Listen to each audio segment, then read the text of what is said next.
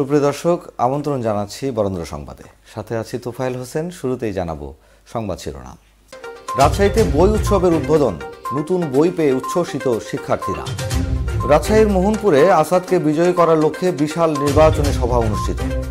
আসন্ন দ্বাদশ জাতীয় সংসদ নির্বাচন ঘিরে জমে উঠেছে প্রচার প্রচারণা। শুনছিলেন শিরোনাম, এবারে জানাব বিস্তারিত। রাজশাহীতে বই উৎসবের উদ্বোধন করেছেন বাংলাদেশ আওয়ামী লীগের সভাপতিমণ্ডলীর সদস্য ও রাজশাহী সিটি কর্পোরেশনের mayor A H M Khairuzzaman Liton. সোমবার বেলা এগারোটায় নগরীর Shahid Mamun Mahmud police line school and কলেজে বেলুন ও ফেস্টুন উড়িয়ে এই বই উৎসবের উদ্বোধন করেন তিনি। অনুষ্ঠানে সভাপতিত্ব করেন Rajshahi metropolitan police commissioner Biplob Bijoy Talukdar. এতে কলেজটির অধ্যক্ষ মোহাম্মদ গোলাম মাওলা সহ আরএমপির ঊর্ধ্বতন কর্মকর্তারা উপস্থিত ছিলেন। এ সময় ক্ষুদে শিক্ষার্থীদের হাতে নতুন বই তুলে দেন রাশিদ মেয়র। বই পেয়ে উচ্ছ্বাস প্রকাশ করেন শিক্ষার্থীরা। এ সময় মেয়র লিটন বলেন, প্রধানমন্ত্রী শেখ হাসিনা বিশ্বের মধ্যে একটা অনন্য দৃষ্টান্ত স্থাপন করেছেন। দেশের এই নাগরিকরা আগামী দিনে দেশ পরিচালনা করবে, দেশকে আরও উপরে নিয়ে যাবে। সেই সমস্ত শিশুদের মধ্যে নতুন বই পৌঁছে দেওয়া হচ্ছে। তিনি বলেন, এই উদাহরণ বিশ্বের কোনো দেশে নেই। দীর্ঘদিন ধরে আপনাদেরকে আমরা অপেক্ষা করতাম, আমাদের উপরে যে বোনগুলি বা ভাইগুলি থাকতো, তাদের, তারা যেহেতু আরেকটি ক্লাসে উঠে গেছে তাদের ব্যবহার করা বইটি আমাদেরকে, আমাদের মা বলতেন যে, এইবার এই বই তোমার। সেই বই পেয়ে মনটা যে আনন্দে ভরতো, তা কিন্তু হতো না। আমরা কি করতাম?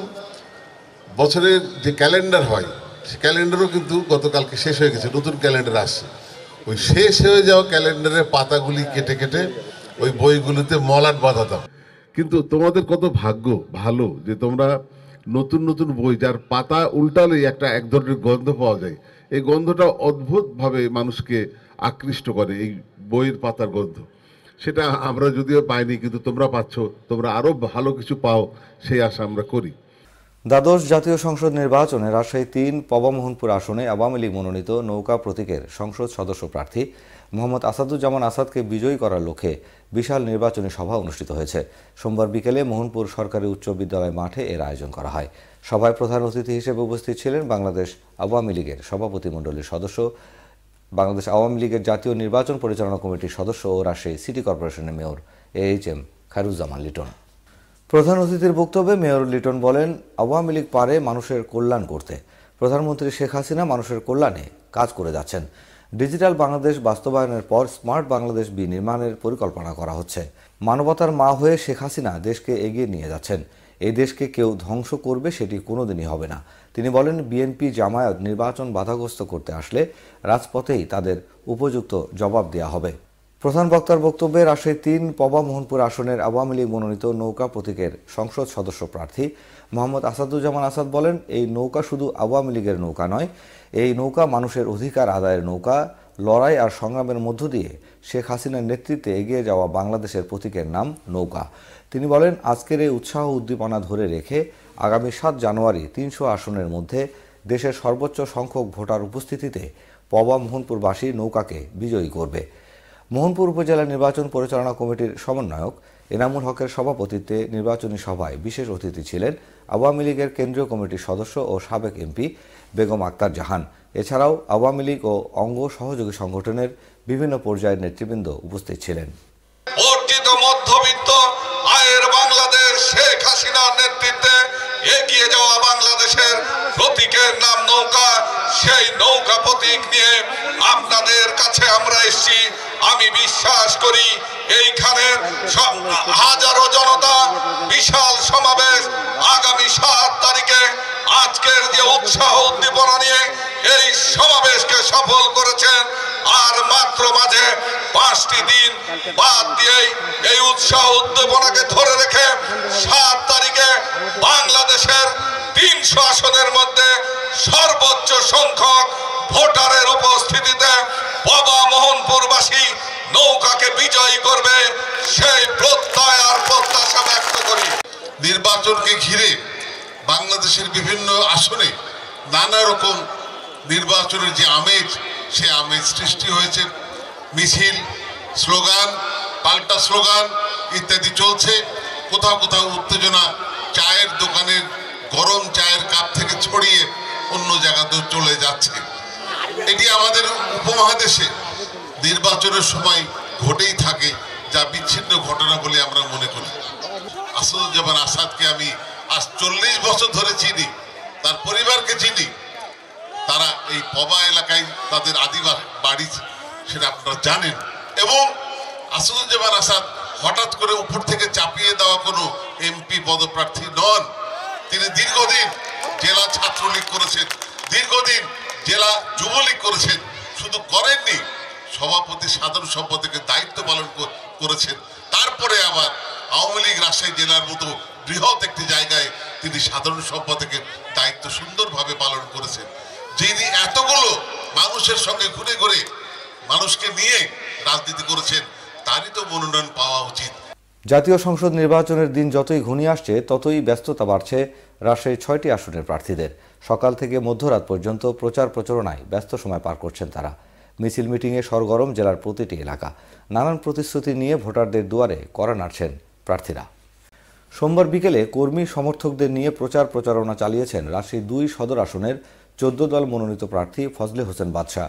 তিনি নগরীর দর্গপাড়া হতে শুরু করে ফায়ার সার্ভিস মোড় হয়ে ঘোষপাড়া মোড়ে গিয়ে সংক্ষিপ্ত পথসভায় বক্তব্য করেন। পথসভায় তিনি বলেন, যারা শেখ হাসিনার দেয়া নৌকাকে অস্বীকার করেছে, তারা মীর জাফর বিশ্বাসঘাতক। তিনি বলেন, যারা শেখ হাসিনার সিদ্ধান্তের বিপক্ষে অবস্থান নিয়েছে, আগামী সাত জানুয়ারি মানুষ তাদের আস্থা করে নিক্ষেপ করবে। এ সময় উপস্থিত ছিলেন মহানগর আওয়ামী লীগের সাধারণ সম্পাদক ডাবলু সরকার। এ সময় ডাবলু সরকার বলেন, শেখ হাসিনার প্রতীক নৌকা। আজকে কিছু নেতা নৌকার বিপক্ষে অবস্থান নিয়েছে। আগামী তিন জানুয়ারি প্রধানমন্ত্রী দিক নির্দেশনা দিবেন। তারপরেও যদি কেউ নৌকার বিপক্ষে অবস্থান নেয়, তাহলে এই আসনের মানুষ তাদের ঘৃণা ভরে প্রত্যাখ্যান করবেন। আসন্ন দ্বাদশ জাতীয় সংসদ নির্বাচন উপলক্ষে রাজশাহী পাঁচ পুঠিয়া দুর্গাপুর আসনের দুর্গাপুর পৌরসভা এলাকায় নিয়মিত প্রচার প্রচারণার অংশ হিসেবে গণসংযোগ করেছেন আওয়ামী লীগ মনোনীত নৌকার প্রার্থী ও রাজশাহী জেলা আওয়ামী লীগের সাধারণ সম্পাদক, সাবেক এমপি আব্দুল ওয়াদুদ দ্বারা। গণসংযোগকালে পৌরসভার বিভিন্ন পয়েন্টে তিনি পথসভা করেন। এ সময় তিনি বলেন, আমি মানুষের ভালোবাসা অভিভূত। যেখানে যাচ্ছি সেখানে জনগণের উপচে পড়া উপস্থিতি লক্ষ্য করছি। সবাই নৌকাকে যেভাবে সমর্থন দিচ্ছেন, তাতে আশা করা যায়, বঙ্গবন্ধু কন্যা শেখ হাসিনার প্রতীক নৌকা বিশাল জয়ের সামনে দাঁড়িয়ে আছে। এখন সাত জানুয়ারি পর্যন্ত অপেক্ষা। গণসংযোগকালে উপস্থিত ছিলেন রাজশাহী মহানগর আওয়ামী লীগের সাধারণ সম্পাদক ডাবলু সরকার সচিব জেলা সভাপতি ও জেলা আওয়ামী লীগের স্বাস্থ্য বিষয়ক সম্পাদক ডাক্তার চিন্ময় কান্তি দাস সহ স্থানীয় নেতৃবৃন্দ। এদিকে সোমবার বিকেলে রাজশাহী গোদাগাড়ী উপজেলার বালিয়াঘাটটা এলাকায় নির্বাচনী গণসংযোগ করেছেন স্বতন্ত্র প্রার্থী ও আওয়ামী লীগের শিল্প ও বাণিজ্য উপকমিটির সদস্য শাহনেয়াজ আয়েশা আক্তার জাহান ডালিয়া। এ সময় তিনি বলেন, চরাঞ্চলের মানুষ শহরের সকল সুযোগ সুবিধা ভোগ করবে। বহির্বিশ্বের যে গ্রামগুলো সুন্দর পরিপাটি থাকে, ঠিক তেমনি আমাদের এই অঞ্চলের এই গ্রামগুলো বা চরের গ্রামগুলো পরিপাটি, সাজানো, গোছানো থাকবে। বিশেষ করে চরাঞ্চলের মানুষের একটা প্রেগনেন্সি রোগী হলে তারা খুব অসুবিধার মধ্যে পড়ে, তাই এখানে একটি কমিউনিটি ক্লিনিক করে দেওয়ার ব্যবস্থা করা হবে। স্বাস্থ্য ও চিকিৎসা খাতে উন্নতি করে স্বাস্থ্য কমপ্লেক্স ইউনিয়ন স্বাস্থ্য কমপ্লেক্স কমিউনিটি হেলথ ক্লিনিকে স্বাস্থ্যসেবার মান বৃদ্ধি সহ সবার জন্য স্বাস্থ্যসেবা নিশ্চিত করা হবে। তো আমি আরও যেই কাজগুলো এখানে করব, এখানে একটা কমিউনিটি ক্লিনিক চালু করব এবং স্কুল আর কলেজ যেন এখানে থাকে, এই জিনিসটা একটু খেয়াল করব। এছাড়াও সোমবার ভবানীগঞ্জ বাজারে গণসংযোগ করেছেন রাজশাহী চার বাগমারা আসনের আওয়ামী লীগ মনোনীত নৌকা প্রতীকের প্রার্থী তাহেরপুর পৌরসভার সাবেক মেয়র অধ্যক্ষ আবুল কালাম আজাদ। তিনি বলেন, নৌকা মানে উন্নয়ন, নৌকা মানে সমৃদ্ধি, নৌকা মানে টেকসই বাংলাদেশ। ডিজিটাল বাংলাদেশের রূপকার, প্রধানমন্ত্রী শেখ হাসিনার স্বপ্নের স্মার্ট বাংলাদেশ তৈরির পথ প্রদর্শক নৌকা। নৌকাকে ভোট দিয়ে প্রধানমন্ত্রী স্মার্ট বাংলাদেশ গড়ার প্রত্যয়ে অংশগ্রহণ করার আহ্বান জানান তিনি। তিনি বলেন, বাগমারাবাসীকে আর প্রতিশ্রুতির মধ্যে সীমাবদ্ধ থাকতে হবে না। উন্নয়ন না করতে পারলে আমাকে জবাবদিহির মধ্যে নিয়ে আসবেন। আমি জনগণের সেবক হিসেবে প্রতিটি কাজে জবাবদিহি করতে চাই। এ সময় উপজেলা আওয়ামী লীগের নেতাকর্মী সহ সাধারণ মানুষজন উপস্থিত ছিলেন। রাজশাহীর পবা উপজেলার দামপুরাহাট উচ্চ বিদ্যালয়ে পবা মোহনপুরের সংসদ সদস্য পদপ্রার্থী আসাদুজ্জামান আসাদকে নির্বাচিত করবার লক্ষ্যে বিশাল নির্বাচনী সভা অনুষ্ঠিত হয়েছে। সোমবার দুপুরে আয়োজিত অনুষ্ঠানে প্রধান অতিথি হিসাবে উপস্থিত ছিলেন নৌকা প্রতীকের সংসদ সদস্য পদপ্রার্থী আসাদুজ্জামান আসাদ। এ সময় আসাদুজ্জামান আসাদ বলেন, প্রত্যেকটি শিক্ষা প্রতিষ্ঠানে জানুয়ারি মাসের এক তারিখে নতুন ক্লাসের ছাত্রছাত্রীদের হাতে নতুন বই তুলে দেওয়া হয়। এ বই উৎসব প্রত্যেক বছর জানুয়ারি মাসের এক তারিখেই হয়। এই নতুন বই পেয়ে সন্তানরা খুশি হয়। এটি সম্ভব করেছেন রাষ্ট্রনায়ক শেখ হাসিনা। সন্তানের লেখাপড়া এবং হাসির জন্য যে মানুষটির অবদান আছে, সেই মানুষটির প্রতি সকলের কৃতজ্ঞতা জানানো উচিত।